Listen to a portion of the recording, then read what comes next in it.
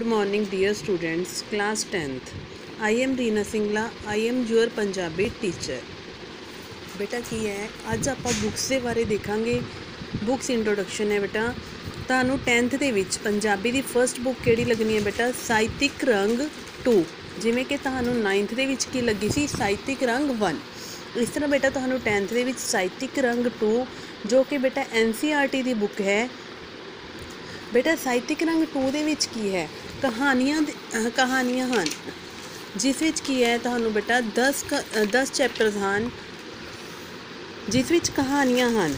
ਔਰ second book ਤੁਹਾਡੀ ਕਿਹੜੀ ਹੈ ਬੇਟਾ? ਸਾਹਿਤਿਕ ਕਿਰਨਾ। ਸਾਹਿਤਿਕ ਕਿਰਨਾ 2 ਜਿਵੇਂ ਕਿ 9th ਦੇ ਵਿੱਚ ਕੀ ਸੀ ਬੇਟਾ? ਤੁਹਾਨੂੰ ਸਾਹਿਤਿਕ ਕਿਰਨਾ 1 ਸੀ। ਇਸ ਤਰ੍ਹਾਂ 10th ਦੇ ਵਿੱਚ ਕੀ ਹੈ ਬੇਟਾ? ਸਾਹਿਤਿਕ ਕਿਰਨਾ 2 ਇਹ ਵੀ ਬੇਟਾ NCERT ਦੀ ਬੁੱਕ ਹੈ।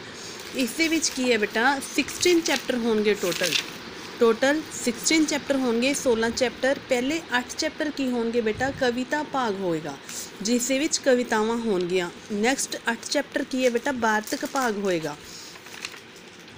ਔਰ ਥਰਡਲੀ ਬੇਟਾ, ਪੰਜਾਬੀ ਵਿਆਕਰਨ ਹੈ, ਉਹ ਆਪਾਂ ਕਿਸੇ ਵਿੱਚੋਂ ਕਰਨੀ ਹੈ ਬੇਟਾ? ਐਮਬੀਡੀ ਪੰਜਾਬੀ ਗਾਈਡ ਇਹ ਵੀ ਬੇਟਾ ਐਨਸੀਈਆਰਟੀ ਦੀ ਬੁੱਕ ਹੈ।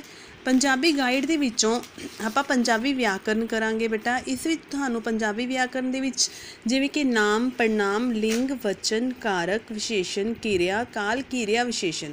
ਬੇਟਾ, ਇਹ ਹੁਣ ਤੁਸੀਂ ਅੱਜ ਤੱਕ ਤੁਸੀਂ ਹੁਣ ਤੱਕ ਕਰਦੇ ਆਏ ਹੋ।